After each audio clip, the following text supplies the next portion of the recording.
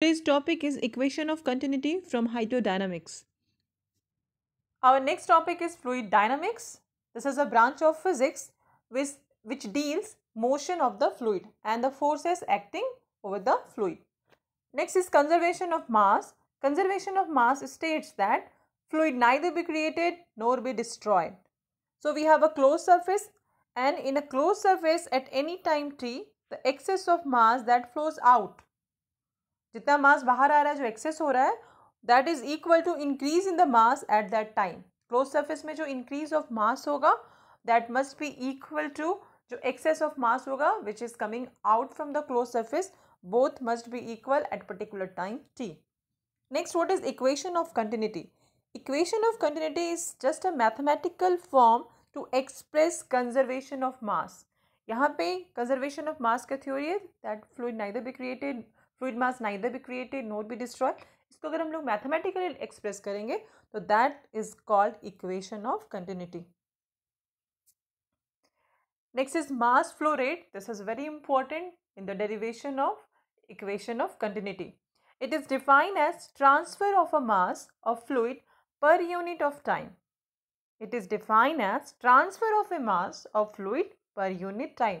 Per unit time में कितना transfer of mass हो रहा है? That is called mass flow rate this can be calculated with the help of density velocity and cross sectional area अगर ये एक close close surface है, अगर यहाँ से मास इन हो रहा है तो आपको इसका क्रॉस सेक्शनल एरिया चाहिए देन डेंसिटी चाहिए और किस वेलोसिटी से फ्लूड इन कर रहा है, वो चाहिए। तो this is rho V suppose area is A तो this is A rho V So m equal to rho VA. This will be useful in the process of deriving equation of continuity. Now we discuss derivation of equation of continuity in Cartesian system. Cartesian system matlab we have a coordinate x, y and z. For this we have any point P and in within the fluid the coordinate of P is x, y and z. We have density of x, y, z and t is the density of the fluid.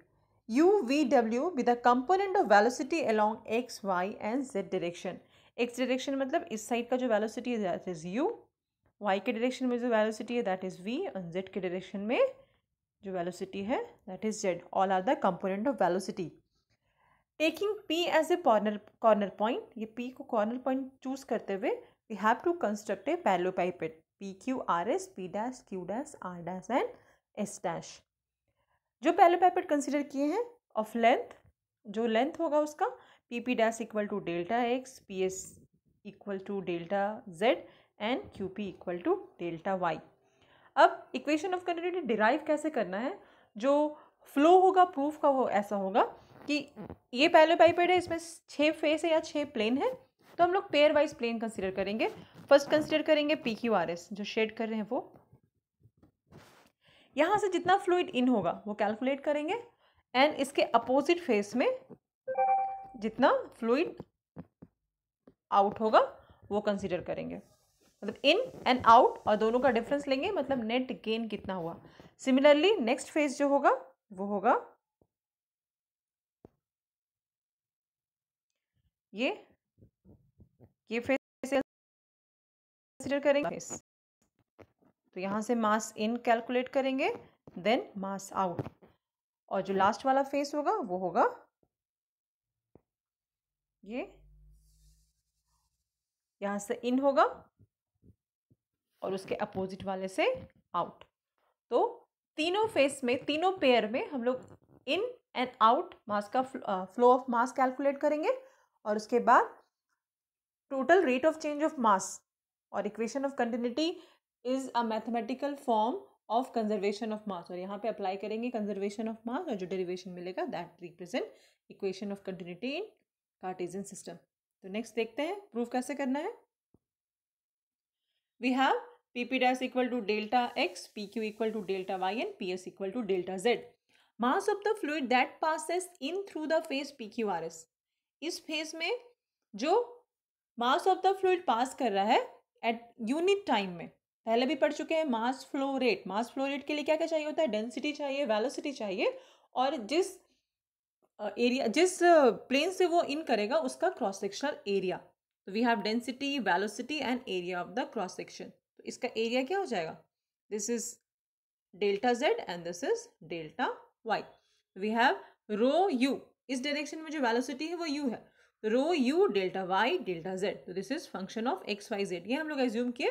कि this value is equal to function of X Y and Z now mass of the fluid that passes out through the face P dash Q dash R dash S dash इसके opposite face में हम लोग calculate करेंगे कि मास out कितना हो रहा है। अब इस ये वाले फेस में और ये वाले फेस में। सिर्फ़ डिफरेंस डेल्टा एक्स का है। मतलब इस पी पॉइंट में जो कोऑर्डिनेट था वो एक्स वाई जेड था। और अगर हम लोग पी डैश पे कोऑर्डिनेट फाइंड करेंगे तो वो हो जाएगा X plus delta X Y and Z तो mass of the fluid that passes out through the face P dash Q dash R dash S dash must be equal to function of X plus delta X Y Z equation number one equation number two equation number one represent कर रहा है mass in equation number two represent कर रहा है mass out तो जब net gain find करना पड़ेगा net gain in mass per unit time per unit time is very important जो भी चीज़ हम लोग कैलकुलेट करें, वो पर यूनिट टाइम में ही कैलकुलेट कर रहे हैं. Within the parallelepiped P Q R S P dash Q dash R dash S dash due to the flow through the face P Q R S and P dash Q dash R dash S dash this must भी equal to one minus two equation number one से equation number two को subtract करेंगे। तो ये हो जाएगा F X Y Z minus F of X plus delta X Y Z Taylor theorem से इसको एक्सपैंड करेंगे और हायर जो टर्म होगा उसको नेग्लेक्ट करेंगे। तो हमारे पास दो ही टर्म है and we are neglecting higher order term in the expansion of F by Taylor's series expansion. तो ये और ये टर्म कैंसिल हो जाएगा। We have minus delta X del F by del X. अब एफ़ का वैल्यू सब्सटीट्यूट करेंगे क्योंकि यहाँ पे delta Y delta Z X पे डिपेंड नहीं कर रहा है तो सबको बाहर लेके आएँगे। This is minus delta X delta Y delta Z dou by dou x rho u. This is equation number 3.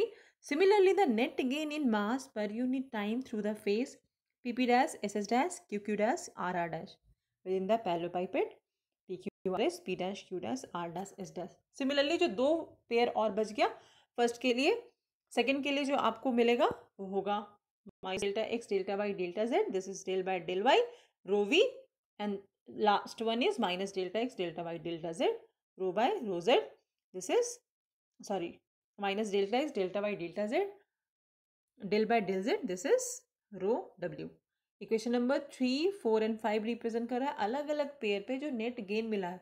तो टोटल गेन जो होगा this is the total rate of mass flow into the elementary parallelepiped must be equal to ये common and this value is equal to del by del X rho U plus del by del Y rho V plus del by del Z rho W now mass of the fluid within the parallelepiped within the parallelepiped में अगर mass find करना है तो क्या करेंगे? उसका volume multiplied by density now total rate of increase within the parallelepiped जो mass का टोटल रेट इंक्रीज हो रहा है। वो क्या हो जाएगा? टी के रिस्पेक्ट में डिफ्रेंशिएट करेंगे total rate of increase of mass मिल जाएगा।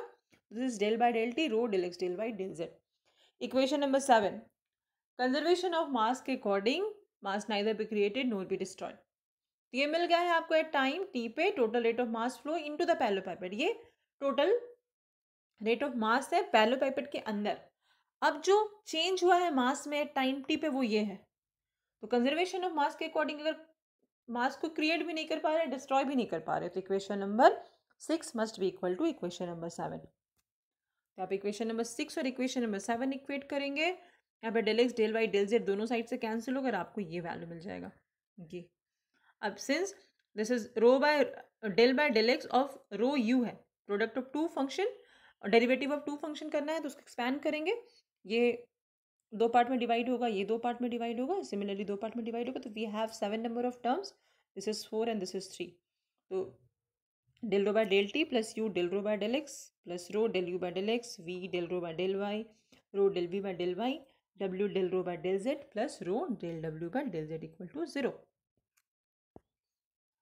rho का सारा टर्म एक साइड रखते हैं plus rho del u by del x plus del v by del y plus del W by del Z ये जो टर्म है is called material derivative this this term is called material derivative and can be and this is this can be express by d rho by d t plus this is rho del u by del x del v by del y plus del W by del Z equal to zero this D by D T is called material derivative अब क्या हुआ? हम लोग assume करते हैं कि liquid is homogeneous and incompressible अगर equation of continuity equation number eight represent कर रहा है equation of continuity in Cartesian system कोई कंडीशन नहीं।